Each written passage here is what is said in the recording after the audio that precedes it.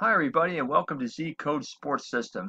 Here we develop automated systems to help you win big with your bets and not just win big one time or two times, but win big every time.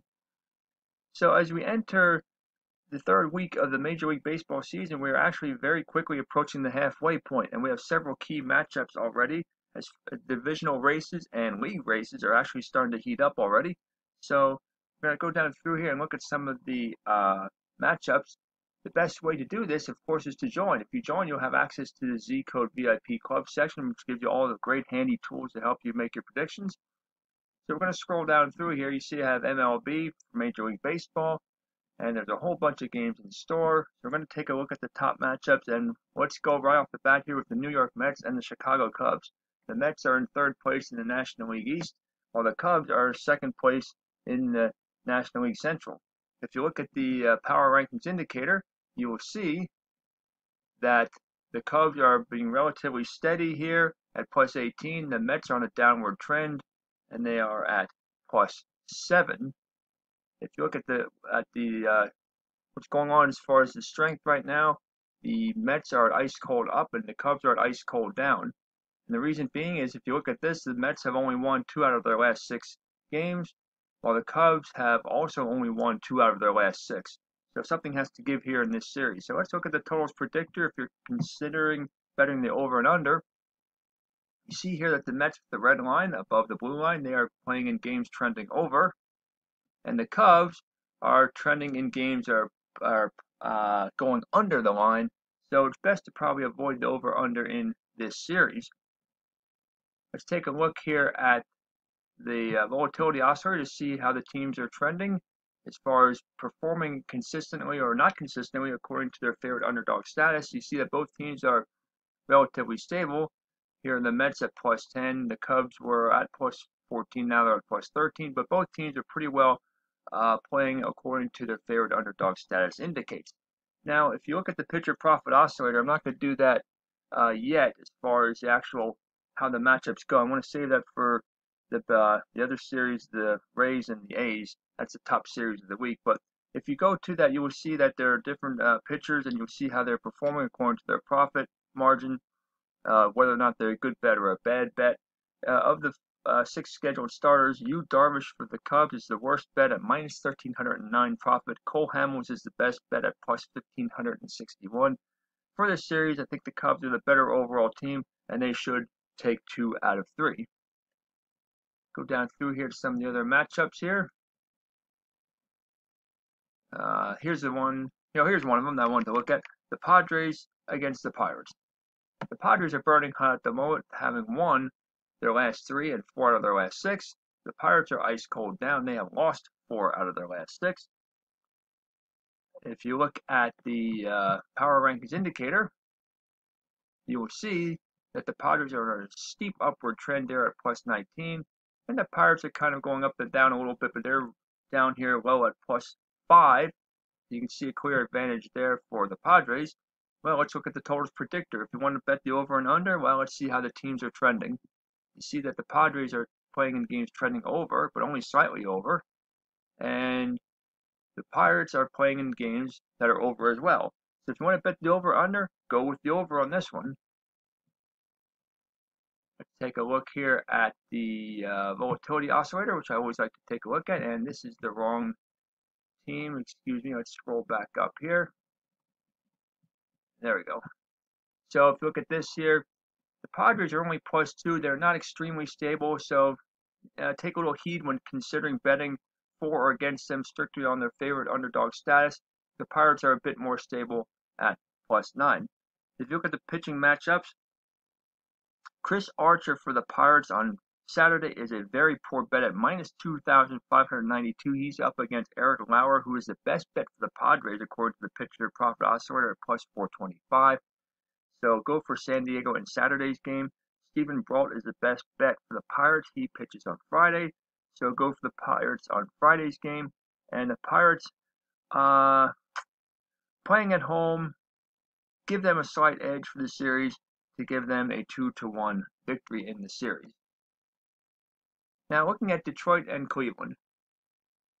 So if you take a look at Detroit and Cleveland, you will see that Cleveland is average up, and they have won four out of their last six. The Tigers are ice cold up. They have won their last game, but they are have lost four out of their last six. Look at the power rankings indicator, you will see that the Tigers are way down here near the bottom. Not surprisingly, with when looking at their overall record, they're at plus one. Cleveland is on a downward trend, but they're still a solid plus 17. Look at the totals predictor, betting the over under. Well, let's see if that's a wise choice. You see that the Tigers are trending in games over, and the Indians are trending in games under. You see the red line compared to the blue line. So the safe bet is to avoid the over and under in this series. Let's take a look here at the team volatility oscillator. Are the teams up again? It's easy to go down too far on this, so be careful if you're scrolling up and down through here. Their team volatility. Here we go. So you see that the Tigers and the Indians are both relatively stable, plus 11 to plus 9. So it's a good idea to take a close look at the favorite underdog status when considering placing a bet on the games in this series. If you look at the pitching matchups, um, yeah, well, Zach Plesac is at plus 171 for Cleveland on Sunday.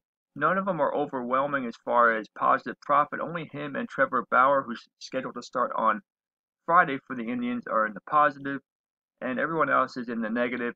Cleveland is clearly the better team. They have the advantage. They will win the series. They could sweep, but I would say probably win two out of three. Go down through a couple more matchups here. Plenty of different games here and on tap. You can look at all these. And here's one here. Okay, Minnesota and Kansas City. Now, this looks like a clear advantage for Minnesota. They have the best record in the league. Kansas City has the worst record. But the trend recently is for Kansas City. Look, they are burning hot recently, having won their last three. Minnesota average up. They have uh, won four of their last six, but have lost two out of their last three. You look at the power ranking indicator, it's clear that they have a huge advantage at plus 25 to plus 6. But you can see Kansas City, with their recent better play, is going on an upward trend. But again, they still have the worst record in the league. Let's take a look at the totals predictor. Considering the over and under, well, let's see what's happening here. Minnesota is trending in games over, and Kansas City's trending in games under. The safe bet is to go to avoid the over under because they are trending on opposite sides of the line. But the gut feeling is that Minnesota is going to pile up a lot of runs against Kansas City. So if you want to go with a little bit of a gamble, go for the over. Let's look at the uh, team volatility oscillator. How consistent have the teams played according to their favorite underdog status? Well, pretty pretty consistent, particularly with Minnesota at plus 23, and again Kansas City at plus 13. So take the favorite and underdog status uh, seriously when looking at the games in the series. If you look at the pitching matchups, Danny Duffy is the best bet on Saturday at plus 1334 versus Jose Berrios at minus 408. And that is the Kansas City's probably best shot of taking a game in this series. Homer Bailey on Sunday is a very poor bet for Kansas City at minus 3,222. Go for the Twins to win two out of three in this series. So the final matchup I wanted to look at, and actually the probably the best matchup this weekend, is the Rays against the A's. The Rays are second in the AL East, right behind the Yankees. The A's are on an upward trend. They are burning hot right now, and they have won four out of their last six. The Rays are ice cold down. They have lost four out of their last six. You can see if they lost their last two to the Yankees, which is furthering them away from the Yankees in the division. If you look at the uh, totals predictor, you can see the Rays are playing games trending well under and the A's are trending in games well under as well. So the best bet is to clearly go for the under in this series. I would bet every game under. If you look at the uh, volatility oscillator, let's take a look at this again. You will see that the Rays are the more stable team at plus 15 compared to plus 7 for the A's.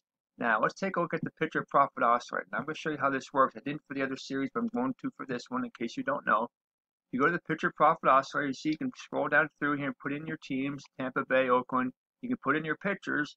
I put in the pitching matchup for um, Saturday's game. Yonny Chirinos against Mike Fiers. If you go down through here and scroll to see the profit, you see the profit chart right here. You can also see the comparison between the two. You can see that Chirinos is at minus 124. Fiers at plus $1,634. Clearly the better bet is Oakland and Fiers in that one. In general, though, Tampa Bay 23 and 12 on the road. They're the better team overall. I think they go into Oakland and take two out of three in this series. So if you don't like to go through all the numbers here, let me just mention to you one more thing. You look at these uh, top automated systems. If you look at the top automated systems, these are systems here that will help you make your bets without you really having to go through all the numbers. Just pick your sport. In this case, you pick uh, baseball, and you could pick uh, you know just different types of profits here.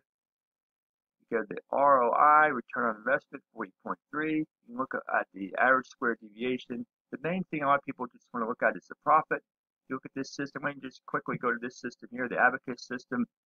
You can see down here, the main thing that people like to look at is, of course, it's the profit. You can see the game number along this uh, horizontal axis, and the vertical axis has the profit total.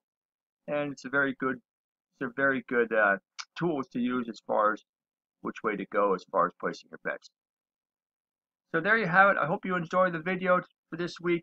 Come back next week. And again, if you haven't joined, please join up and join in in the fun and maximize your winnings. Have a great week, and we'll see you next time.